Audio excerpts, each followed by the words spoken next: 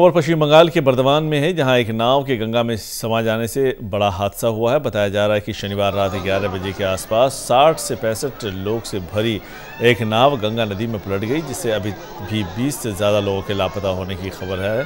दरअसल बर्दवान के जपोट एरिया में हुए हादसे में नाव पर क्षमता से ज़्यादा लोग सवार होने से नाव गंगा नदी में पलट गई।